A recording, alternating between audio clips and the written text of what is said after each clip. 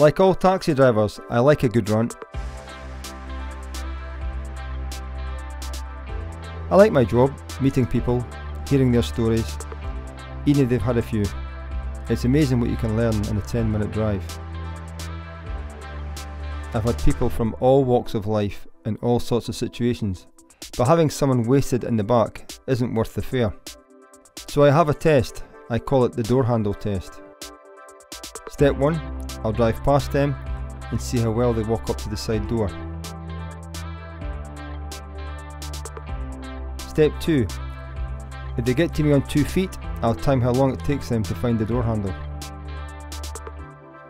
Fail either one, and I'm away. It feels pretty good to help some have a good night, have a bit of a banter, get their favourite song on. They're like, You're a god, thanks for getting me home. And you usually get a big tip. But when you get a guy in the back who wants to argue with you because he's looked at my digital clock and thinks that I'm setting the meter at 20 odd quid because he is drunk, or some girl is trying to bundle her friend in the back so she can ditch her and carry on with her night out.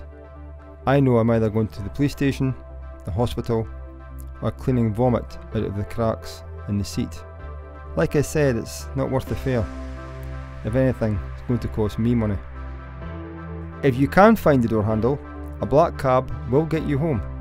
But as the saying goes, when you've had more than a few and don't know where you're going, then any road will take you there.